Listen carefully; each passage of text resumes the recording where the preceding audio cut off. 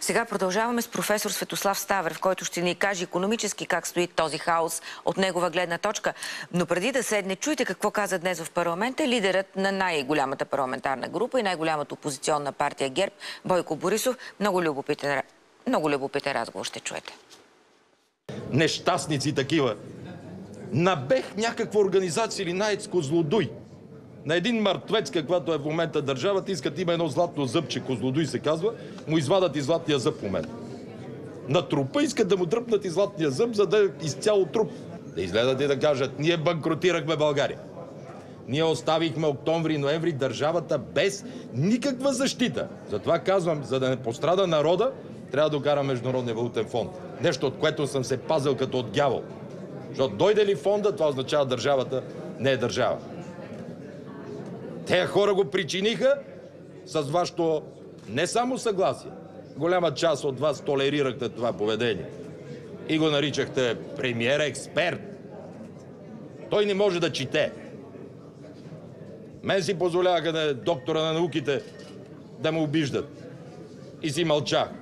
Този каза, че не може да чете. Не е чел. Не чете. Не е чел пълномощното, с което е отказал суверенитет за Брюксел.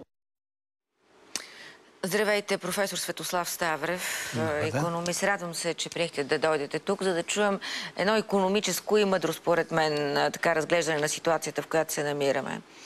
Борисов, направо да започнем. Борисов сега пък заговори за Международен валутен фонд.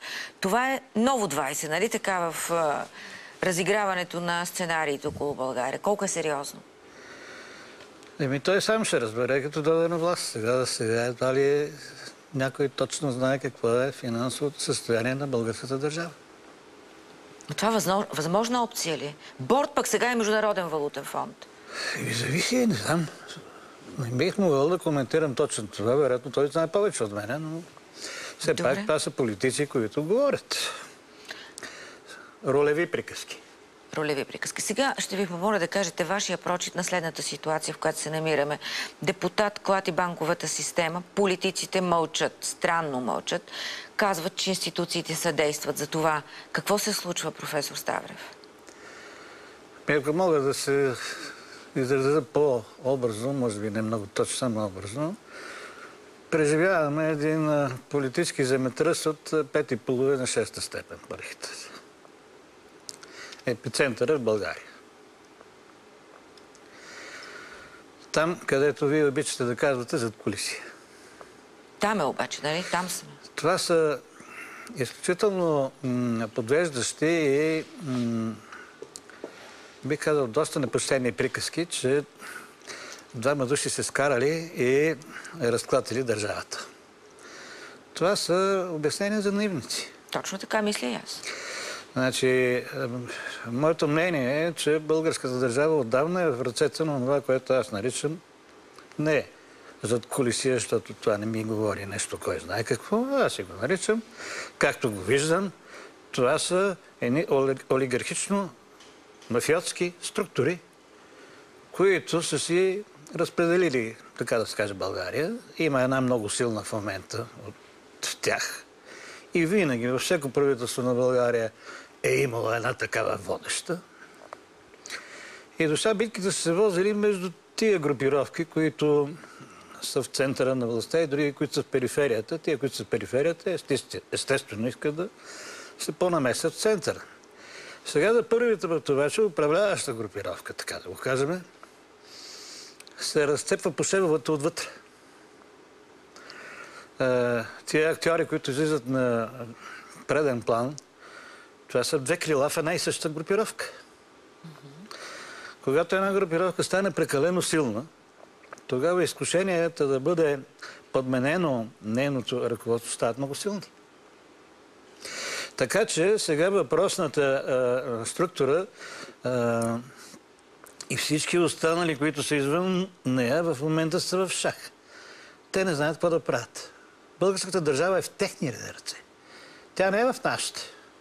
Ще дойде време да избираме, ние си избереме когато си искаме. Това са приказки, които примерно аз не избор не ли вярвам. много опасен и рисков? Техните методи, които сега, до сега не е било чак така. Това е във банк. Защо пък да не е било чак така? И 96-та е било така. Сега пак ли да го преживява? Ама не 96-та, сега няма толкова пряка връзка 96-та и сега. Това не са верни тези сравнения и те подвеждат хората да се страхуват, че ще стане това, което стана тогава. То сега може да стане пак нещо лошо и то може да не е кой знае колко по-добро от това тогава. Но във всеки случай сега имаме котви, които пречат да стане лесно това. Това е валутния борт и това е членството ни в Европейския съюз. Ако бехме влезнали в еврото, ще да има още една допълнителна котва. Така че положението не е същото, но подобни неща са ставали и преди. Все пак припомнете си, че са така падали жертва на подобни скрити неща и министър-председатели на България, и шефове на групировки и така нататък. Това, това не е нещо ново за нас. Не знам, защо се ме гледате очудено. Гледам ви очудено, защото ми се струва, че се преминават всякакви граници. Ми Минава те- се на едно друго, по-нахално ниво, отколкото е било до сега. Еми, сега степента на нахалство трудно може да бъде премерена, защото той човек тръгнали така да демонстрира силата си, каквато реално притежава, разбира се, това не са измислени неща. А, Тогава той не се церемони много, защото има кандидати за местото му.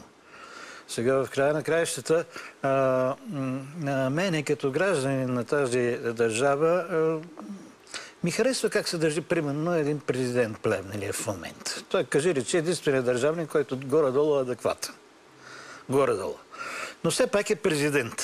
И той приказва такива президентски истории. Ето, слушай го на идване.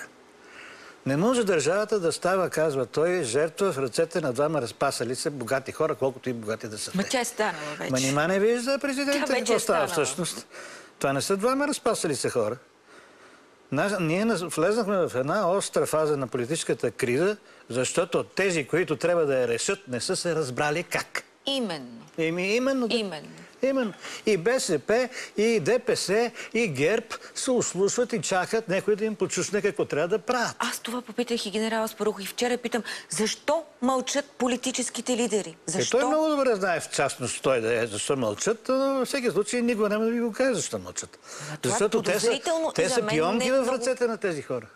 Те Вие ако си мислите, че шефа на една партия е суверенен, вие ако си мислите, че един министр-председател е суверенен, ако вие си мислите, че една прокуратура е суверенна, ми че кое министерство в България и комита са суверенни? Тези, за които ви говоря, са проникнали във всички институции на държавата и това трябва да разбере президента Плевнелиев. И от тук да помислите как може това нещо да бъде а, дезинфектирано. Защото няма значение кой ще е начало на една или друга Веднага ще му скочат, ще му поискат импичмент, ако тръгне да дезинфекцира. Ами ако много знае, това ще се случи. Той даже би трябвало да го усетил преди известно време, че те са готови и Ма те- него да го беше вземат. готово.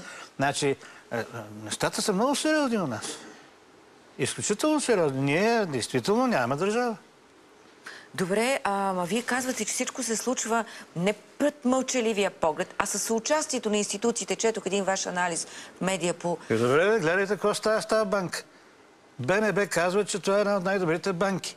По всички критерии на БНБ, които се считат за по-строги, отколкото критериите на е- е- еврозоната в момента, тази банка е една от добрите.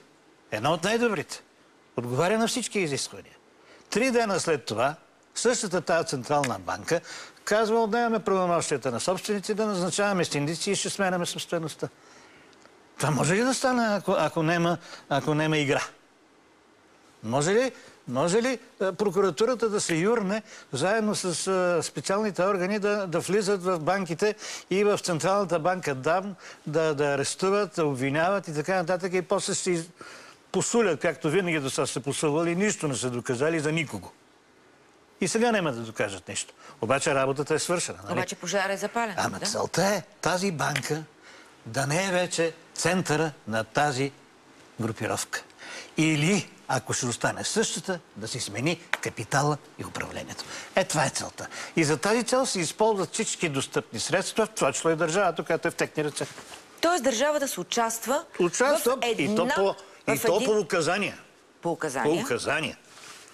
Някой казва на държавата и Точно нейните така. органи Но понеже- да съдейства за понеже, смяната вижте, на ако собствеността. Беше, ако беше един този задкулисен център, нещата ще да бъдат по-ясни. Но понеже не е един, А държавата е пленена, така да се каже. Тя е подкупена от всички тия а, групировки, за които ви говоря. Значи, едни получават указания действия в тази посока, други получават указания действия в друга посока. Те се побъркаха горките държавни е, лица. Те не знаят кого да слушат вече. Те не Много знаят как, какво трябва да направят, за да не сбъркат. Защото в момента всичко, което направят, може да се окаже погрешно.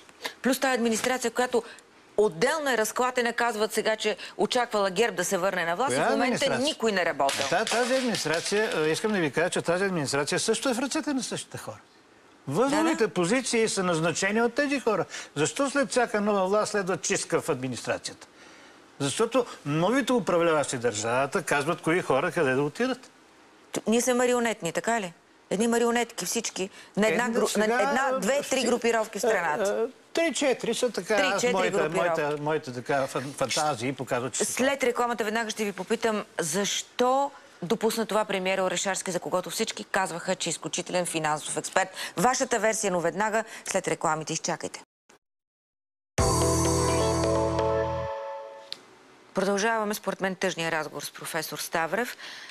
Има ли опасност за валутния борт, е, както очакват мнозина и вариант ли това, което ми каза, между другото, в, е, по време на рекламите генерал Аспарухов, който казва само квестори отвън в момента могат да оправят държавата. Тук сме безпомощни и напълно изключени.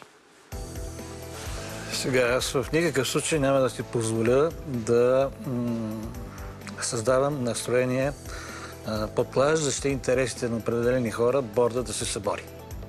Питам, реална ли е възможност? Борда е, така да се каже, последното нещо, което бих казал ме задържа в тази страна.